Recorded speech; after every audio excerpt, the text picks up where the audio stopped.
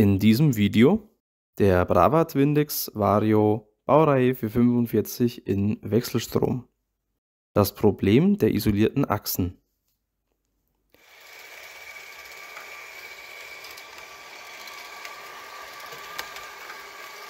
Wie hier zu sehen, flackert der Bahnübergang aufgrund der isolierten Achsen. Der Bahnübergang flackert, da die Achsen mit Metallbügel gelagert sind. Entsprechend flackert der Bahnübergang, wenn eine Achse im Bereich der Isolierung drin ist und die andere Achse außerhalb der Isolierung sich befindet. Dieses Problem kann auch problematisch sein für Rückmeldemodule oder Gleisstromkreise, da diese keine zuverlässigen Informationen mehr erhalten. Diese Probleme treten ausschließlich am Mittelwagen auf. Die Endwägen sind werkseitig nicht isoliert. Um dieses Problem zu beheben, muss am Mittelwagen jedes Drehgestell abgezogen werden. Am Drehgestell selbst ist eine Plastikbrücke. Diese Plastikbrücke behutsam entfernen.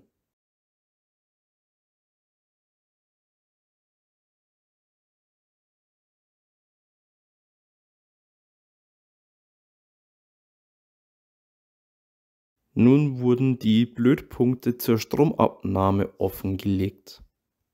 Die Lötpunkte sind mit einem Spitzenwerkzeug erstmal anzurauen, damit das Lötzinn überhaupt darauf Haftung finden kann.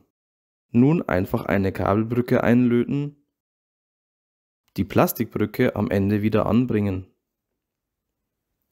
Das Drehgestell soll am besten mit der Schlingerdämpferkonsole nach innen aufgesteckt werden. Diesen Fehler hat sich Brava erlaubt und hat die Drehgestelle nahezu willkürlich aufgesteckt. Optional sollten die Sandkäste abgebaut werden, da das Original keine hat. Den Nachweis dazu findet ihr im Internet unter dbpza782 in der Suchfunktion eures Browsers. Nun sind die Achsen nicht mehr isoliert und der Bahnübergang funktioniert wieder ohne Probleme.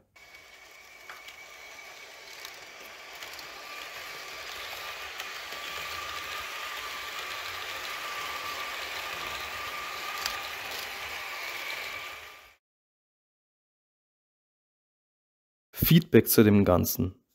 Es ist absolut nicht schön, dass man an einem nagelneuen Modell löten muss. Vor allem, wenn der UVP-Preis für dieses Modell in der fünfteiligen Ausführung, wie ich ihn besitze, nahezu 950 Euro kostet. Dieser Mängel hätte werkseitig bereits behoben werden können.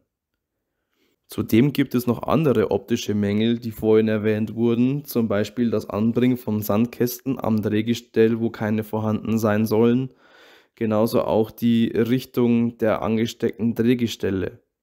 Diese sind zwar nur rein optisch, man hätte diese Schritte allerdings sich auch sparen können. Vielen Dank fürs Einschalten, ich hoffe euch hat dieser Tipp geholfen, bis zum nächsten Video.